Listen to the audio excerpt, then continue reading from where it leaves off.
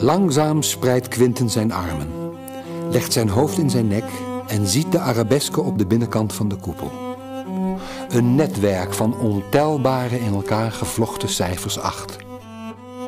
En op dat moment omhult Mozes letterzwerm zijn naakte lichaam met zo'n oneindig, verblindend licht dat het erin vergaat als het schijnsel van een kaars